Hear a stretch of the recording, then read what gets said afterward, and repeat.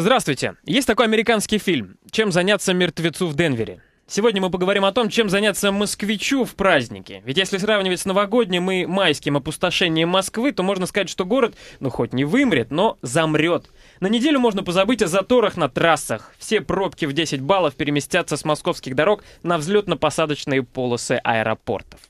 Гость нашей, гости нашей программы — это создатель проекта Mozan Travel Ирина Цуканова а также основатель городского блога Кози Москоу Юлия Петрова и гендиректор сети турагентств «1001 тур» Сергей Ватузин. Всем здравствуйте!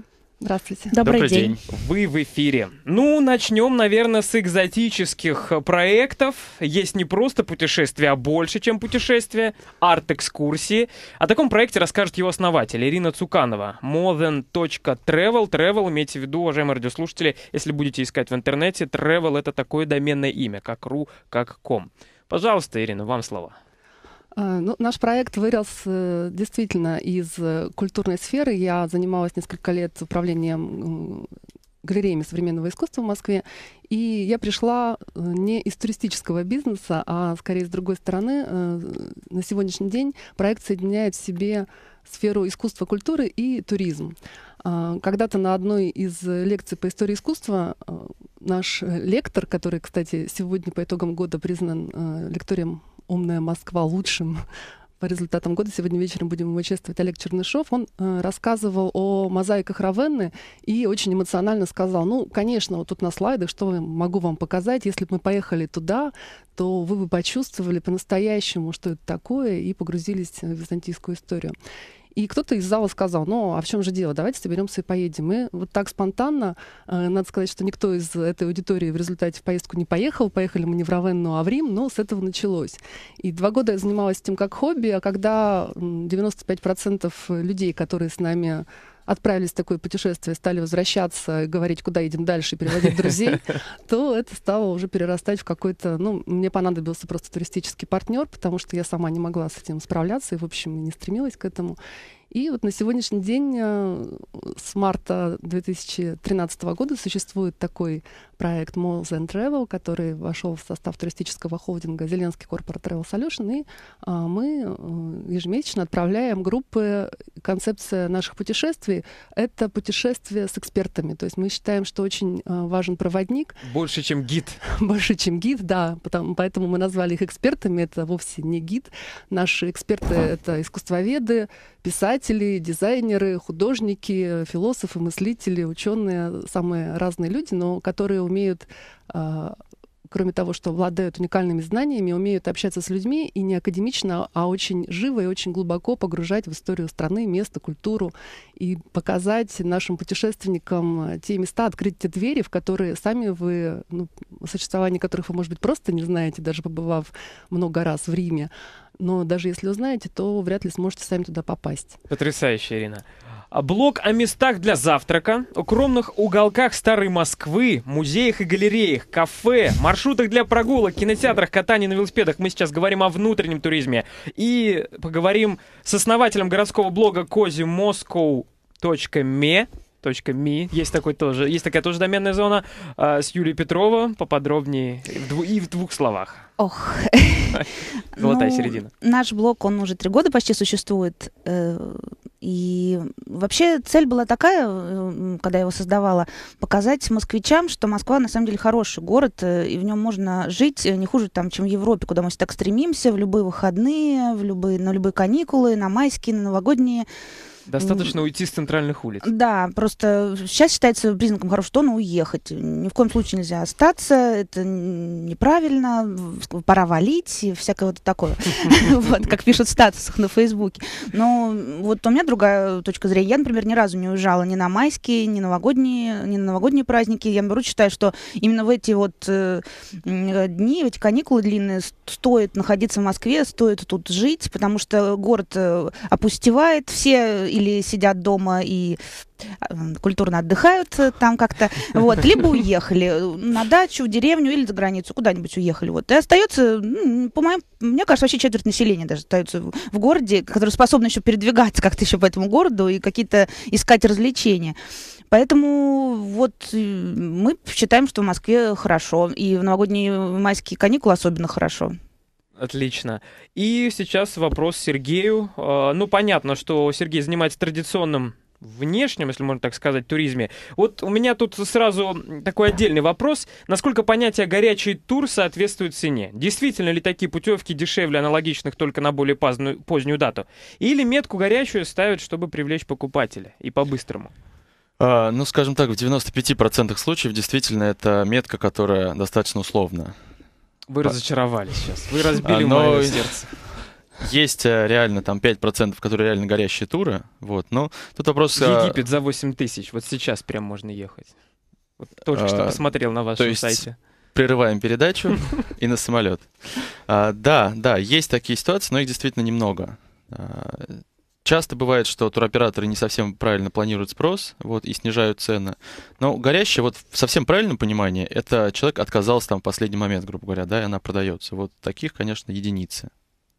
И все равно нужно анализировать, сопоставлять, действительно ли вот эта цена дешевле, нужно сравнивать с другими порталами, с другими ресурсами, а лучше да. подумать, стоит ли тебе вот именно сейчас туда ехать. Да, но тут вопрос, что сопоставлять можно, когда есть время, есть выбор. Да, часто бывает, что выбора нет. То есть, допустим, у нас там, вот я посмотрел вчерашний день, практически был пиковым по заявкам за последние месяца 4, да, то есть огромное количество людей, которые вдруг осознали, что скоро Новый год, и что неожиданно, и что в ближайшие 10 дней непонятно, что делать. Насчет неожиданности это, конечно, сюрприз, действительно, потому что вот э, Ассоциация туроператоров России провела анализ раннего бронирования путевок. Лето уже все раскуплено.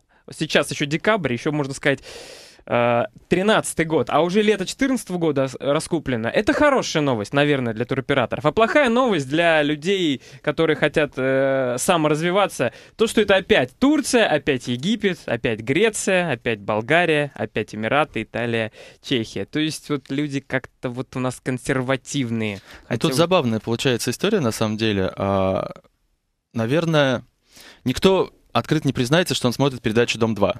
Но почему-то передача «Дом-2» достаточно высокие рейтинги. Да, соответственно, ну, не очень круто сказать. Это про строительство? Нет, это про туризм. Я хотел доказать, что я не смотрю программу.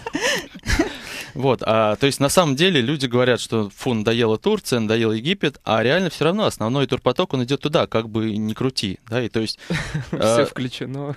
ну, я как, я не смотрю «Дом-2», я также могу сказать, что я очень редко езжу там по тем маршрутам, которые у нас в основном продаются, Еще бы гендиректор турагентств. но тем не менее получается, что все равно основной спрос такой, да, если ты хочешь строить большую компанию, тебе нужно, естественно, предлагать то, что нужно людям. Уважаемые радиослушатели, можете позвонить нам по телефону 65 10 99 6, как задать вопросы по внутримосковскому и внутрироссийскому туризму, так и по зарубежному туризму, а также рассказать о том, как планируете вы провести новогодние каникулы и, возможно, даже майские, о своих предложениях, замечаниях или просто размышлениях. Также можете написать на сайт finam.fm, вот еще одно необычное, редкое доменное имя, на страничку программы «Парадокс» со своими вышеозначенными замечаниями. А в следующих четвертях мы поговорим про зарубежный, внутренний и внутримосковский, внутрироссийский туризм. Поконкретнее, детальнее разберем страны, регионы, разберем направления и сопоставим даже аэропорты Домодедово, Шереметьево и Внуково. Оставайтесь с нами, прервемся на полторы минуты на выпуск новостей. Как говорят в Израиле, хорошее море — мертвое море. Еврейское государство как туристическое направление еще хорошо тем, что туда можно лететь без виз. В четверг решил, в пятницу уже отправился и провел уикенд в израильских городах. Сейчас разберем другие безвизовые направления, кроме набивших оскомину Таиланда, Египта, Турцию. Не забываем про Китай, правда, не весь. Сергей, ну, наверное, больше к вам вопрос. А Какие еще у нас туристические и благоприятные для россиянина в зимний период страны есть? Ну, во-первых, действительно Израиль, вы не зря с него начали. Буквально там 30 декабря можно уехать на Новый год. То есть это одно из немногих направлений, где сейчас еще есть места. А, причем достаточно недорого. Там, 24 тысячи на три дня, вот именно на новогодний. Вот я последние вот сайты смотрел. ну, на три дня, может быть, на неделю там 32 тысячи будет стоить тур. А в То есть, какой общем-то, город? В какой а, не скажу, к сожалению, это нужно у нас на сайте посмотреть. Вот, а, Ну и по любым другим сайтам. Да, просто на самом деле ситуация какая? Буквально вчера готовили информацию, да, что там есть еще осталось. И сегодня утром проверяли, там уже существенные изменения, да, то есть половины того, что было вчера, нету, да, то есть реально там Ситуация разбираются. меняется ежечасно. Да, да. Ну, Египет на самом деле есть. В Египет еще можно уехать на Новый год. Если говорить, допустим, про тот же самый Таиланд, то уехать можно только там числа 3 января. А в Египте больше не воюют уже? Все раскуплено. А в Египте... Кстати, МИД, извините, рекомендацию до сих пор не снял. Не ехать. МИД России. А на самом деле было объявление, что они ее снимают некоторое время назад. Вот. Но, честно говоря, никто особо за этим не следил. То есть, когда в целом ситуация успокоилась, у В нас, целом, да, вот вы хорошо сказали. В целом ситуация успокоилась. ну, там буквально там вчера или позавчера что-то происходило, да, но тем не менее у нас был провал месяца на три, когда Египет куда-то ушел вниз, да, но еще до восстановления, ну, отмены рекомендаций, а, Египет уверенно вернулся на свое первое место, ну, потому что реально там альтернативы по деньгам и там близости нету.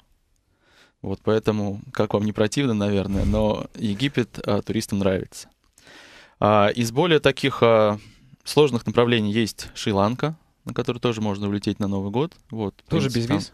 а, да, без виз. Ну, как, там на месте виза ставится. Мгм. Ну, в- то есть, в вот, аэропорту. сейчас Да, решил, да, тут же да. купил, все, после работы Вот, а, полетел. с- где-то примерно там от 40 тысяч тур будет стоить. Вот. Ну, то есть а, выбор пока есть. Мгм. Mozen Travel. Вы куда-нибудь в безвизовые готовы отправить людей? Ну, у нас И отправляется группа э, на январские уже в январские каникулы с 6 января в безвизовую страну Грузия. Кстати, мечта, кстати. А, мы забываем Эта об этих поездка родилась неожиданно. э, Вот на январь мы ее не планировали, но мы были в сентябре. А Та группа, с которой мы путешествовали по Грузии в сентябре, во-первых, она вся полным составом у нас э, в апреле уже зарегистрировалась на поездку. Мы отправимся теперь в Западную Грузию. Мы были, ну, начали с э, Тифлиса, с э, Тацминда и, в общем, таких очевидных вещей. А сейчас мы поедем уже в Катаиси, Батуми и поднимемся в Сванете, в горы, где грав- главные М. христианские сокровища и, в общем, Очень потрясающая природа, да. А в январе а, вот неожиданно был эффект. э, У нас совершенно светские программы, но Грузия настолько христианская и духовная страна, что там этим, этой культурой, этой историей очень заражаешься. И, Не хуже Греции. Да, я, Греция, да, у нас тоже есть тур в Греции по Византийским островам на яхте с византологом. Это тоже потрясающе. А, вот Грузия, ну, все, все, все имеет некоторые отличия. Не будем сейчас, наверное, на этом останавливаться, но а, Грузия здесь просто потрясла, покорила, увлекла именно своей вот христианской историей. И мы сделали такой тур, в общем, по запросам некоторых наших клиентов, присоединились новые люди именно на Рождество а, с посещением службы в главном кафедральном соборе. Там ощущение совсем другое от этого праздника, от этого действия. Очень демократично, просто к вам выходит патриарх, и э, очень красиво, очень величественно, это на горе. И будет э, уделена часть программы. Мы путешествуем по Грузии с писателем Игорем Оболенским, который половину своего времени и жизни проводит именно в Тбилиси, его ребенок там растет. И он написал много книг о Грузии, он работает с архивами, он в течение пяти лет встречался со святейшим Леем II и брал у него, ну, беседовал, сейчас вышла книга этих бесед. И вот он нас погружает в Грузию потрясающе. Не- Ну, шанса не влюбиться ну, в эту и без того удивительную страну просто нет ни у кого, и хочется возвращаться бесконечно. Я сейчас вспомнил фильм «Самая одинокая планета». Не смотрели? Нет. Это Не как раз про припомню. Грузию, про, про ту- туризм по, по грузинским местам и горам. Я вам рекомендую его посмотреть, Я чтобы, себе. чтобы, Спасибо. да, самая одинокая планета, чтобы разбить это впечатление, потому что фильм на самом деле показывает скучный горный отдых, и он э, снят по рассказам, по циклу рассказам дорогостоящие поездки в никуда. Я вам могу ответить на это так. А, На самом деле, вот, а, например, я, если отправлюсь в Египет, который вы тут упоминали неоднократно, да, с такой негативной окраской, то я уверена, что я себе организую там увлекательный отдых. То есть вопрос, наверное, За с кем отеля. и как, и кто, и чего ищет. Потому что можно, конечно, приехать и в самое потрясающее, удивительное место и пребывать э, в состоянии ворчания на сервис отеля весь отпуск, и больше, в общем, ничего не Или заметить. лежать тюленем. Такие... Да, никакие пять звезд и все включено не спасут. Поэтому ну, каждый выбирает, наверное, свою точку, угол зрения. И, в общем, это вопрос э, человека, что он хочет найти и увидеть. Ну и про Грузию еще можно добавить, что на самом деле культура это здорово, но а как же грузинская кухня? О, конечно. Мои знакомые тоже ездили в Грузию, они были в абсолютном восторге, их там кормили, поили, А как там хачапури. поют? И поют, и поют. Да, да, да. Грузинское многоголосие, да, но это все на самом деле культура. э, Может быть, вам может показаться, что у нас такие вот мы про культуру, лекции. направление. На самом деле культура, она включает в себя, э, безусловно, знакомство с кухней. Мы обязательно подбираем Тосты. лучшие рестораны. А, Культуру тостов, да, мы об этом тоже говорим. И что такое лаверды, в общем. У меня знакомство с Грузией это фильм э, про Шурика, «Кавказская пленница». Вот мне Ну кажется, да, там все да. так, как вот в этом фильме. У меня знакомый, у меня знакомый выпил. тамада, он говорит, если он ведет грузинскую свадьбу, он может не работать. Поднимается, поднимается да. все. кроме всех э, вышеперечисленных стран, куда можно въехать без виз, есть еще одна страна безвизовая. Это Россия для россиян и Москва. Для остальных тоже э, людей, граждан России. Пока еще можно без регистрации сюда въезжать, по билетику, если что, показать, что вы вот на несколько дней, хотя и закон, ужесточающий пребывание э, граждан России в Москве, все-таки принимают. Э, что у нас по внутрироссийскому, по внутримосковскому отдыху? Ой, в этом году, мне кажется, мы прям на какой-то европейский уровень вышли по количеству, во-первых, иллюминаций, каких-то украшений, ярмарок, извините, одних сколько. Э, развесили всяких э, э, чудо-инсталляций световые везде. На Рождественске, на Рождественке, например, кто не видел, висят фламинго, которого в народе прозвали уже птеродактили, потому что они весьма странные такие фламинго, но это какие-то художники великие делали, иностранцы, поэтому они такие у ЦУМа каких-то мельниц красивых понаставили. То есть, во-первых, очень красиво в этом году украсили город, хотя уже ходят слухи, что там что-то кто-то у кого-то украл, какие-то миллиарды, вот это все. Ну, зато красиво. А мы еще Это по погоде, слухи. мы еще по погоде европейские заметили? Да, у нас, у нас да. абсолютно, Абсолютно, да, европейская да, да. зима. Сейчас, Плюс да. два, ни снежочка, Да. ни, ни льда. Вот. э, так, аж, ну и, конечно, куча есть интересных мест, куда можно сходить. Во-первых, вот эти ярмарки красивые, новогодние, э, которые сейчас вот функционируют.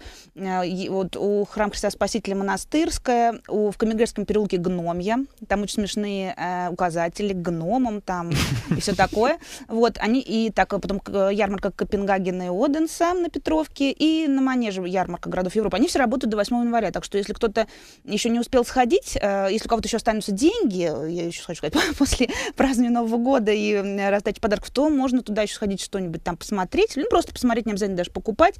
Вот, потом э, катки, конечно. Я вот не знаю, какая погода будет. Если такая, как сейчас, плюсовая, то лучше идти на катки, конечно, э, С которые искусственным. у ГУМа, да. да, и в парке Горького. Там все очень красиво. Лед В парке Горького, кстати, искусственный лед. качества. Да. Он, да, Пар- он не тает. да, так да, что да. И около ГУМа то же самое. И парк Горького это вообще самый большой каток в Европе. То есть есть чем гордиться. Вот. А если будет э, минус, то я рекомендую пойти э, на маленькие катки. Вот мы очень любим, недаром называется Кози Москву сайт. Кстати, Любим почему Кози? Кози, потому что это вот уютно, удобно, в переводе комфортно. То есть для меня моя Москва, она такая. И я хочу э, поделиться этой Москвой со всеми моими читателями. Надеюсь, что у меня это получается.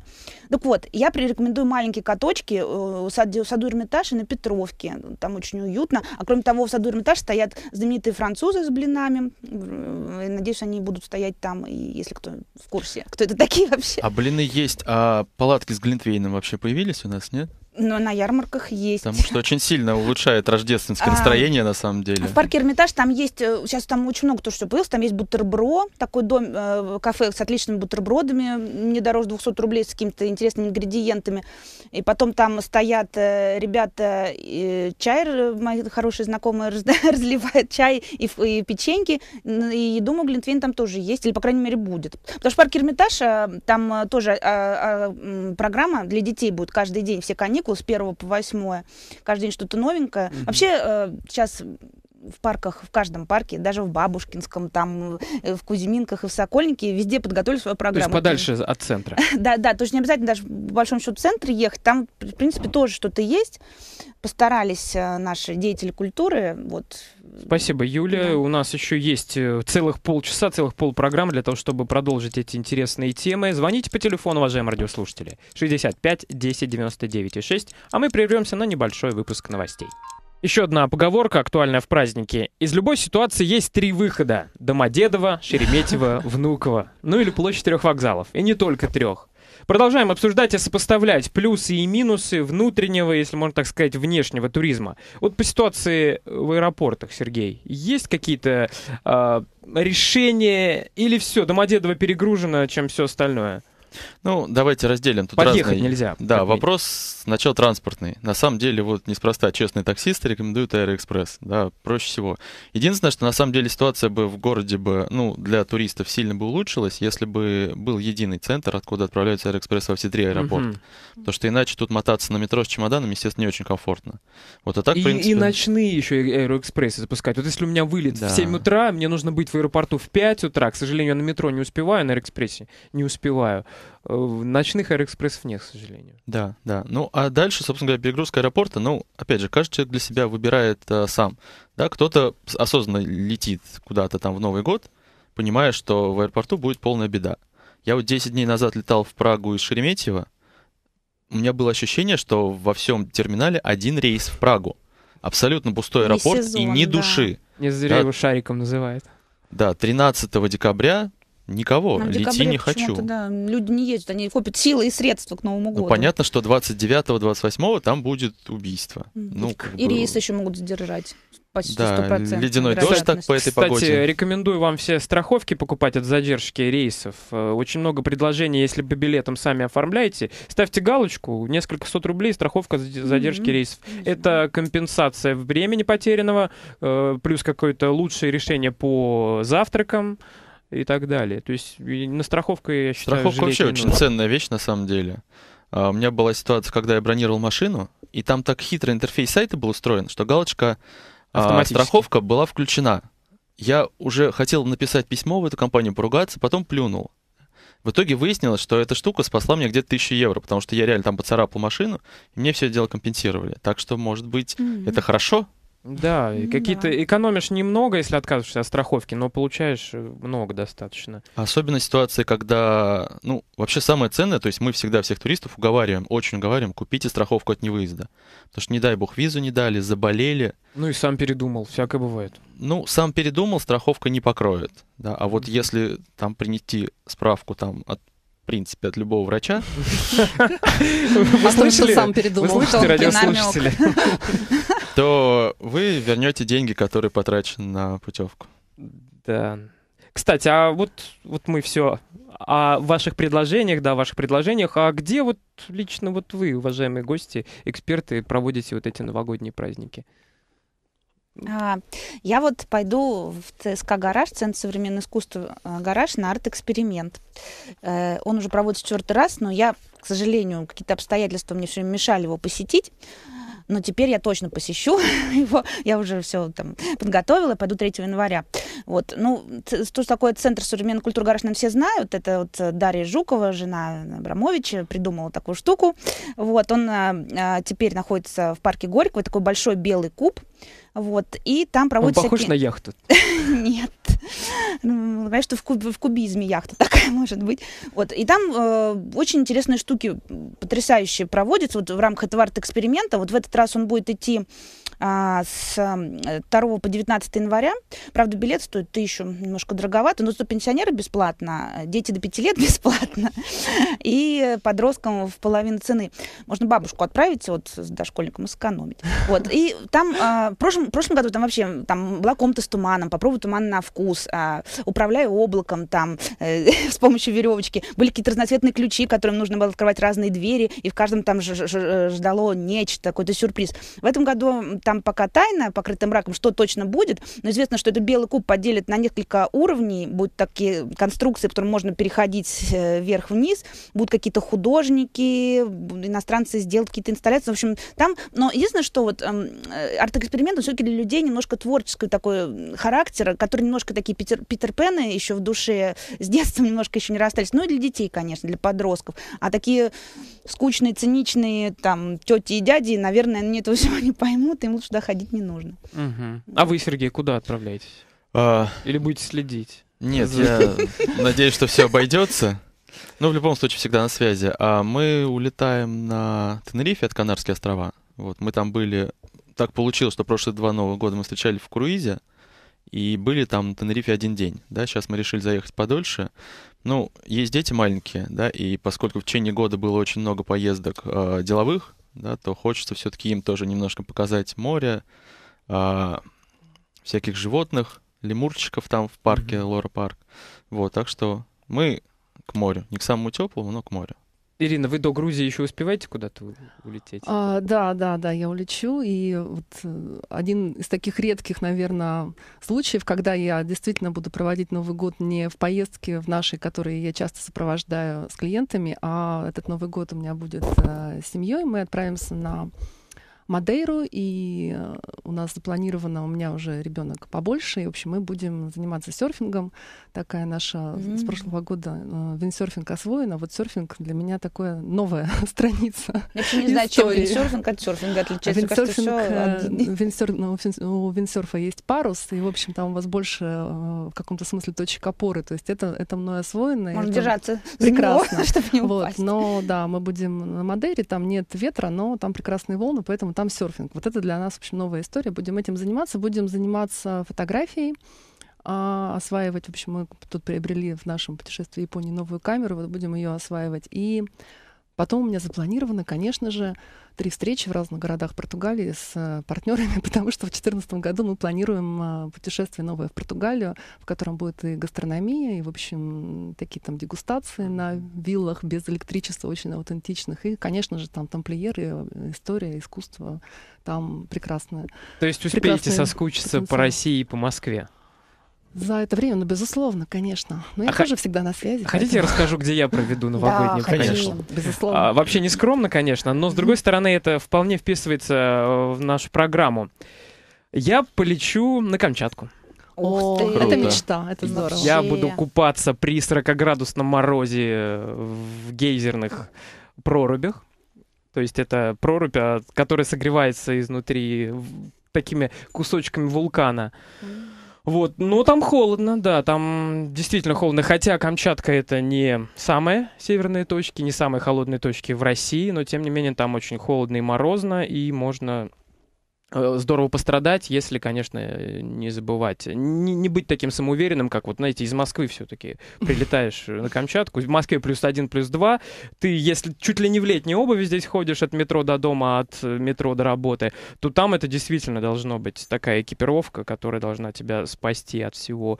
Вот, А икра мы- ложками? э, Вот Это там? это тоже там, да. Но, но, но икра это все-таки лососевая, это ближе к путине. Путина это летний, А я думала, там всегда летний лов рыбы. огромные Ну, тазики летний везде лов рыбы. стоят, там куда не зайдешь. Зимой там корюшка. А, ну, Тоже икра, но она меленькая, кстати, тоже. Лососевый это семейство корюшковых, это все родственные рыбы. Просто вот у корюшки, у зимней, у подледной рыбы это а, мелкая икра. Ну, Класс. тоже можно. И тоже даже ложками, только чайными. Вот, собственно, такие впечатления. Уважаемые радиослушатели, звоните 65 10 99 и 6. Может быть, хотите рассказать о своих каких-то а, местах, о которых мы, может быть, даже не догадываемся, а то все о современных и распространенных направлениях, но есть еще э, куча мест, где куда не ступала нога российского человека. Вот, кстати, вот развитию внутреннего туризма мешают, кроме э, дорогих авиабилетов, еще что, по вашему мнению? Могу Да, ну и сервис, конечно же, недостаточно. Почему-то у нас очень все дорого. Я не понимаю, почему. Почему там в Суздале какая-нибудь изба, вот эта красивая, Да. которых сейчас там много появилось, стоит э, дороже сильно, чем какой-нибудь там пятизвездочный отель, не знаю. В той же Турции. Э, Но в Суздале моря нету зато. Почему от Краснодара отвернулись, когда Турция появилась? Потому что сочинские Да, курорты, они перестали Там- отвечать. А, кстати, все равно, знаете, все равно едут многие люди, они загранпаспорта же многие даже нет у наших россиян, просто особенно у старшего поколения, они не хотят, они привыкли, они будут слушать там хамство, снимать там угол у кого-нибудь, какой-то предприимчивой тетушки, все равно будут ездить. У меня это тоже загадка. У Конечно, меня большая. дети месяц этим летом провели в Анапе с бабушками. Ну, там бабушка Мгм. без загранпаспорта, вот. Они провели э, месяц там. На самом деле, они в совершенном восторге. То есть они еще были на Кипре этим летом. Когда их спросили, куда вы хотите поехать в следующий раз, они, конечно, сказали Анапа, а не Кипр. А почему? Русской А. речи больше? Нет, ну там, наверное, больше всякой развлекухи. То есть вот меня повеселил, допустим, вышли только из отеля, сразу набежали товарищи с а, птицами, с этими, с обезьянками. А, ну, такой быстрый кадр мы не успели сообразить, то есть это было очень быстро. А каждое животное в кадре 200 рублей.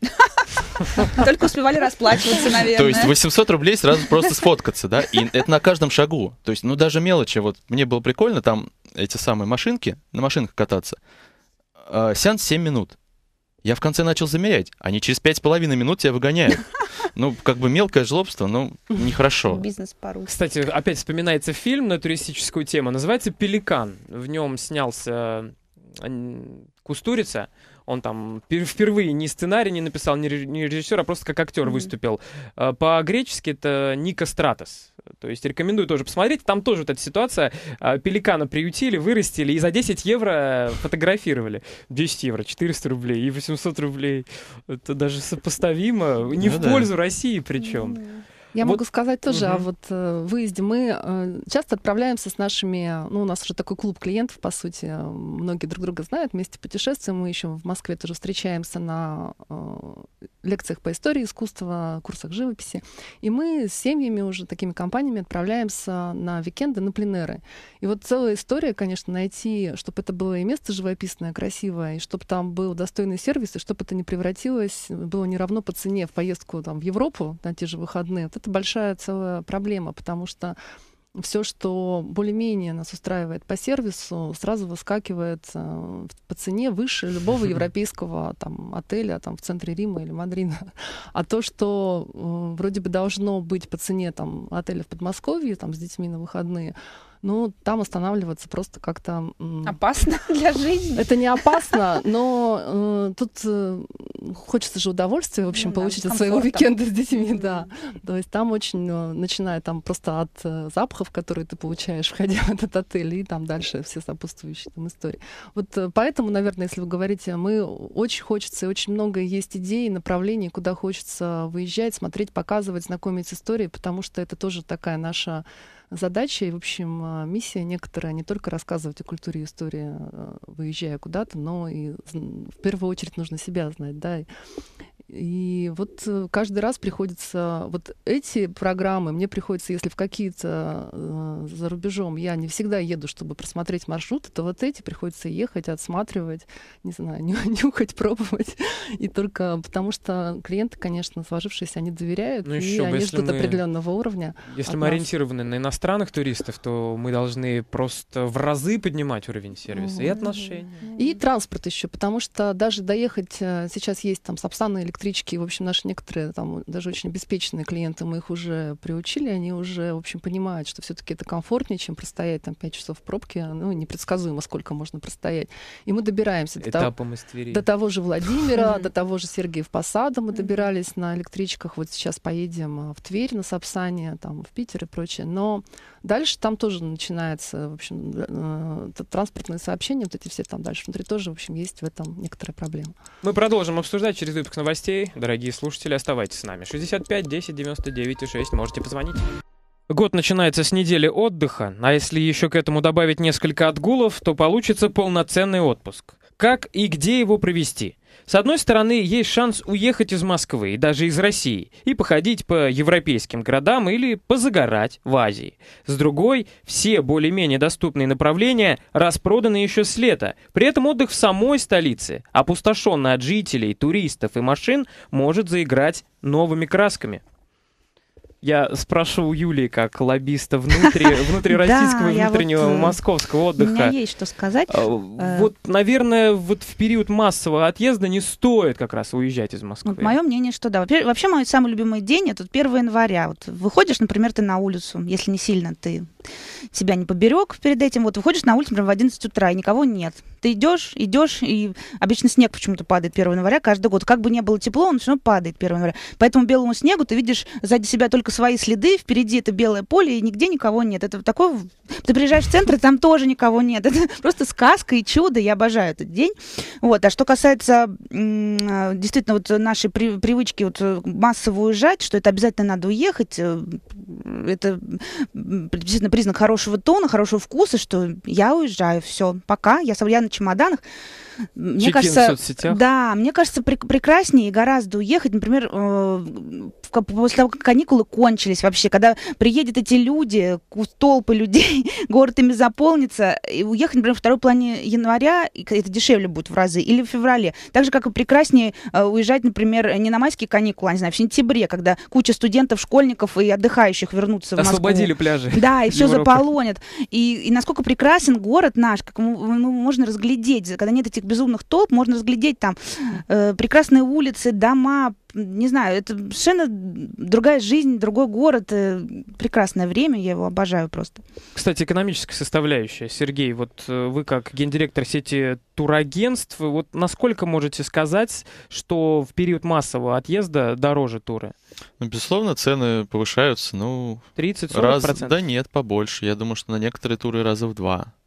То есть, То есть, если, ну, допустим, вот опять же, начало декабря низкий сезон, да, и новогодний праздник, это будет реально разница раза в два. А у меня есть вот такой вопрос, всегда меня мучил. Причина повышения. Причина повышения в том, что иностранные контрагенты повышают цены нам на билеты и на отели, или просто на нас навариваются тупо российские туроператоры? Вот такой у меня вопрос. Бизнес-составляющая. Циничная бизнес-составляющая. цену Я хочу спросить.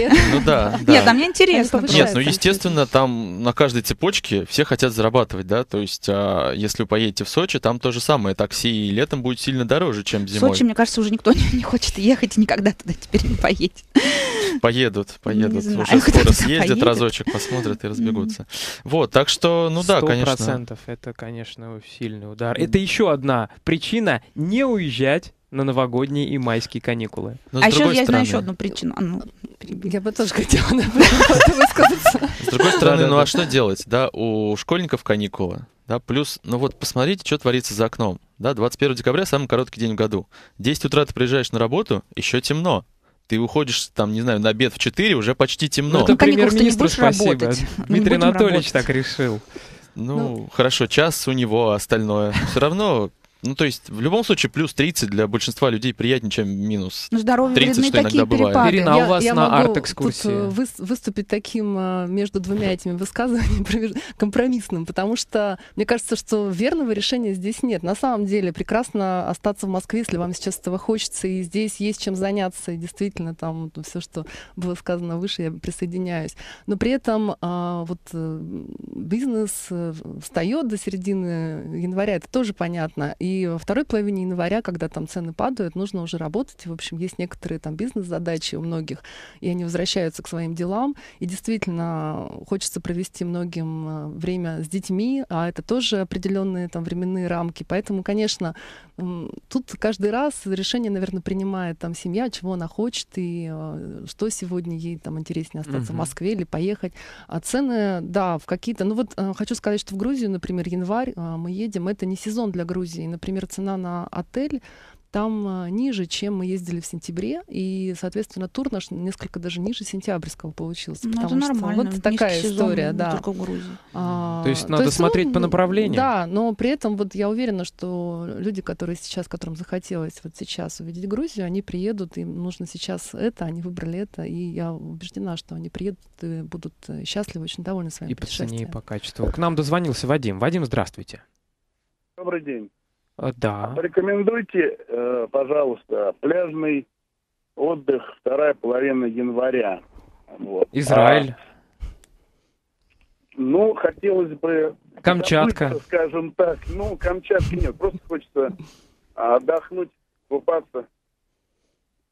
Нет возможности, скажем так, в течение года куда-то ехать. Ну, Азия, наверное, да, Сергей? Ну, Спасибо, а- Вадим. Да-да-да. Ну, тут на самом деле эта информации недостаточно, чтобы принять правильное решение. Да, это лечить тоже можно по телефону попытаться, но а, разные ситуации, да, сколько вас, кроме купания, что вы хотели получить, да, есть ли какие-то предпочтения, там, устроит ли вас перелет, там, 13 часов, допустим, да, или вы хотите лететь, там, не больше 4 часов, да, от этого, естественно, выбор зависит. Ну, вторая половина января и пляжный отдых, видимо, э, такая э, популярная Азия остается. Опять же, ну, на три дня Где еще лететь там можно? в тот же Таиланд никакого смысла нет, да, в Эмираты можно съездить там и нормально покупаться. Да, Мне кажется, он поэтому- имел в виду отпуск полноценный. Ну да, то есть э, в районе, две, в районе двух недель, да. Ну, если, недель. опять же, бюджет, да, мы не знаем, да, если бюджет там 70 тысяч на двоих, это одна ситуация, если Ну, А вы куда бы вы знаете, поехали, скажите? 370. Мне кажется, на чип-трипе на том же можно и в Таиланд Ну вот съездить. 100 А. тысяч рублей на двоих, две недели. Э, Хочется купаться. Ну, на самом деле, Таиланд, я думаю, что будет оптимальный Конечно. выбор. То есть азиатские страны, да, где-то. Да. Сейчас вся Европа холодная пока. Пока еще. Даже, даже самые Канары холодно еще. Ну, там можно купаться в январе, там дети мои купались пару лет назад, но, в принципе, конечно, это так. Не совсем пляжный отдых. Мгм. Но возвращаясь к Камчатке, я не зря на самом деле сказал об этом. Это не, не, не, не сколько А вот сколько стоит билет на Камчатку? А Хотел вот, а вот это знать. самое интересное. У Да. меня лечу 2 числа, и мне, вот хотите верьте, хотите нет, перелет обошелся в 4000 рублей. Не верим. Как так? серьезно, А как? серьезно. То есть я через Лайфхак. сайт, я не буду его рекламировать, но через Мгм. сайт, где мы, где сопоставляются все цены по билетам, Мгм. естественно, самый эконом, самый минимальный. Страховой 4000 нереально. рублей это Москва, Петропавловск-Камчатский. Мгм. Второго. Обратно я лечу дешевле, чем за 8 тысяч я не нашел. Всё А, а второго я лечу 5 тысяч. То есть, э, ой, Слушайте, ну это 5, вообще- января. То есть у Мы меня про рубли ведь сейчас говорим, А, да? про Мы рубли. про рубли говорим, 4 да? тысячи рублей, это, это вот, если бы я летел 31 декабря или 1 января, мне бы это обошлось в 20, в 30 тысяч. Ну, И даже под 100 тысяч там остаются буквально крохи. А со 2 января вот мне вот досталось Отлично. именно такие дешевые. То есть мы, если мы организуем свой отдых, то можно найти дешевые варианты. Почему я выбрал эти даты 2 и 5? Потому что до и после достаточно дорого получается. То есть в Рождество люди возвращаются в Москву, и там билеты дешевле 20 тысяч не найдешь. Так вот, как вот у меня это было вот в прошлом году, позапрошлом, когда я туда летал, а, там много людей собираются в раздевалке а, и идут вот на огороженные места, откуда вот бьют эти гейзеры. То есть это полноценный массовый пляжный зимний, зимний отдых. То есть, здесь А. еди- единственное, что у меня в те фотографии, я, естественно, там раздетый, но голова у меня в шапке в зимней. А то есть вы уже не первый год летаете, то есть вот традиция такая. Ну да, да, потому что я, почему и лоббирую внутри российский туризм. Ребята, раскройте глаза. Не Турция и Египтом мы все едины. А, по поводу, вот мы сейчас рассказали об экономической составляющей, я бы хотел сводки МВД провести. А, мы должны об этом вспомнить. И, кстати, опять вспоминается фильм. Теперь на ум приходит «Плохой Санта». Отличный фильм. Вот Небольшая заметка очень. об особенностях криминала на Новый год. Э, Российские полицейские утверждают, что преступлений в рождественские каникулы больше не становится, но криминальный быт все же претерпевает изменения. Именно в праздничные дни на промысел выходят грабители в костюмах Дедов Морозов. Ледовые катки становятся полем деятельности воров-карманников, а форточники отправляются на фишинг социальных сетей. В костюмах Санта-Клауса можно не только скрыть свою реальную внешность, но и обеспечить безопасный отход с места преступления. Мне кажется, также- инструкция. Также в, нового- в новогодние Тем более, праздники... что Остановитесь, догадался еще. не продолжайте. Если кто-то не догадался, для чего можно использовать Ну- костюм Деда Мороза, да, послушайте нашу программу. Вот как узнают о том, что вы уехали из города, из соцсетей, ради десятка лайкс и комментариев завидующих друзей, мы сообщаем о том, что уезжаем и надолго, а потом размещаем фото с места отпуска. Как бы то ни было, но злоумышленники Кошмар. мониторят все это и принимают свои злые жить. решения. У нас осталось 50 секунд, разрешите я вас представлю. Сергей Ватутин, гендиректор сети турагентств «1001 тур». Юлия Петрова, основатель городского блога kozimoscow.me и создатель проекта mozan.travel Ирина Цуканова. Поздравляю всех с наступающим Новым годом. Спасибо. Желаю, чтобы он был Спасибо. не похож на все предыдущие и на будущие. Ну и надеюсь, что так как вы все-таки несете такой бизнес-составляющую, чтобы у вас было побольше клиентов, побольше отдачи, а у наших э, граждан было побольше времени для того, чтобы изучить все возможные предложения, не ограничиваться Времени и денег. не ограничиваться, не ограничиваться одними популярными решениями, где все включено, и благодаря широкому познанию можно сэкономить приличные суммы, если не уезжать в период массового отъезда. До свидания, с наступающим! Спасибо. До Ура. свидания.